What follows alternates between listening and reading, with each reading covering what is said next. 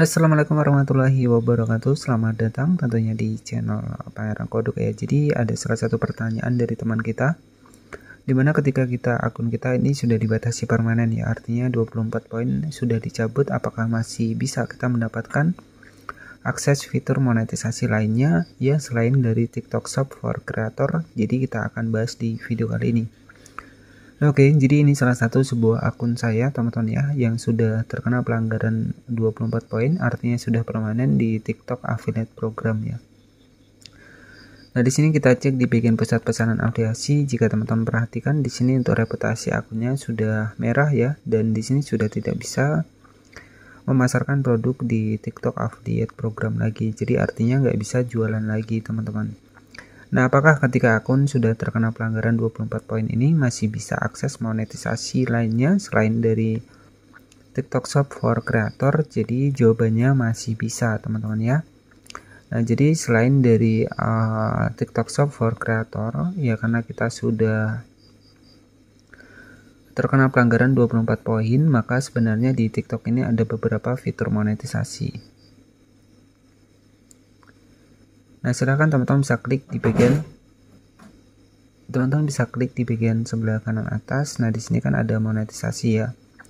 Nah, jadi walaupun kita sudah nggak bisa akses monetisasi TikTok Shop for Creator di sini, ya, tetapi kita masih uh, bisa untuk akses monetisasi yang lainnya, ya. Jadi seperti monetisasi langganan, monetisasi kreator marketplace, kita klik saja tampilkan semua seperti ini. Nah, jadi selain dari TikTok Software Creator, jika teman-teman di sini sudah terkena pembatasan, jadi kita masih bisa uh, mendapatkan fitur monetisasi yang lainnya. Ya, seperti monetisasi langganan, artinya jika ada yang berlangganan di akun kita, maka mereka wajib membayar sesuai dengan harga yang sudah kita tentukan. Nah, ini ada monetisasi langganan.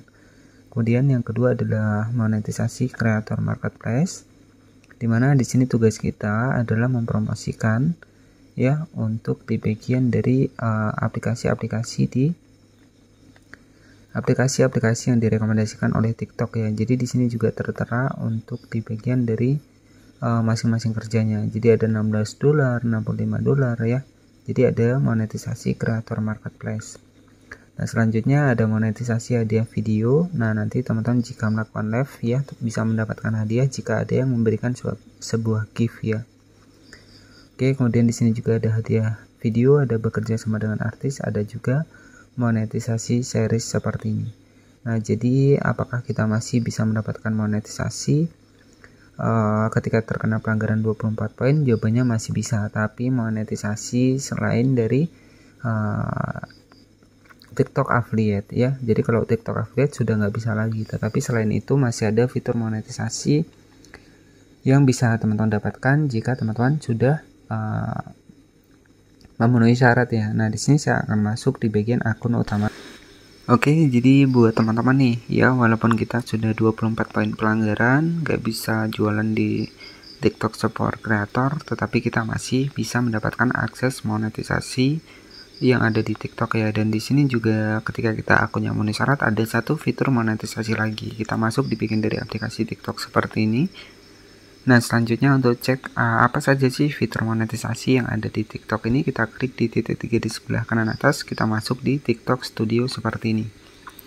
Nah karena ya untuk akun kita sudah terkena pelanggaran 24 poin berarti TikTok Shop sudah nggak bisa kita gunakan ya. TikTok Shop affiliate ini sudah nggak bisa kita gunakan Nah, nanti teman-teman masih bisa mendapatkan uh, fitur monetisasi hadiah live, bekerja sama dengan artis, monetisasi series, ini masih bisa ya. Kemudian kreator marketplace, ada langganan, ada hadiah video, ya, ada juga program insentif gift, insentif game ya. Nah, ini jika teman-teman sudah memenuhi syarat, artinya kita bisa berkolaborasi. Nah, kalau untuk seller ini jika kita menjadi seorang penjual, ya, jadi seperti itu. Nah, di sini ada hadiah live. Teman-teman bisa mendapatkan hadiah ketika ada yang gift di uh, live kita. Kemudian bekerja sama dengan artis.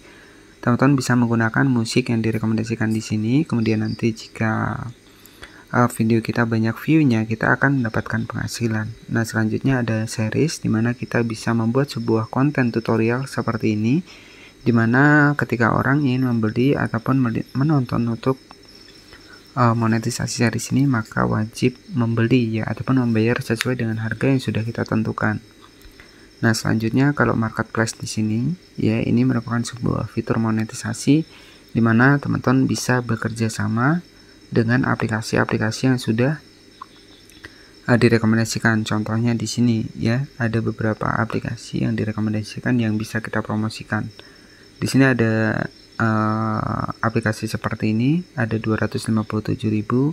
Di sini juga ada iPortrait ini 3 jutaan teman-teman untuk uh, ketika kita uh, berkolaborasi ya. Kemudian juga ada 998 di sini ada sebuah kolaborasi ya ini merupakan pendapatan kita nantinya jadi sebenarnya juga besar juga teman-teman ya untuk uh, aplikasi ini. Nah jadi jika teman-teman ingin gabung di uh, aplikasi kreator marketplace ya teman-teman bisa atur saja di sini ya. Jadi kita bisa mempromosikan videonya.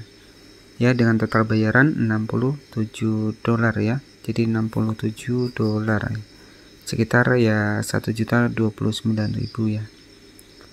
Oke, jadi seperti itu. Nah, di sini banyak sekali aplikasi-aplikasi selain dari uh, selain dari monetisasi TikTok ya, masih ada monetisasi kreator marketplace. Selanjutnya ada langganan. Nah, di sini teman-teman bisa diaktifkan. Jika ada yang berlangganan, mereka bisa membayar kita. Kemudian ada juga hadiah video. Jika sudah memenuhi syarat, kita bisa aktifkan untuk monetisasi hadiah video ini. Selanjutnya juga ada program insentif game di mana teman-teman bisa uh, bekerja sama di sini ataupun mempromosikan untuk game ini ya. Nah, di sini ada reward ya. Ada juga uh, di bagian acara. Nah, di sini teman-teman tinggal disesuaikan. Jadi untuk hadiahnya ini ada sekitar 15 dolaran ya.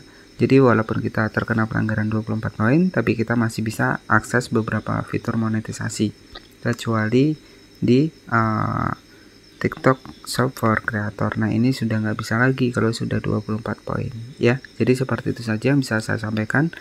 Jadi walaupun akun kita terkena pelanggaran 24 poin, uh, tetapi ya di sini teman-teman masih bisa mendapatkan fitur monetisasi lainnya.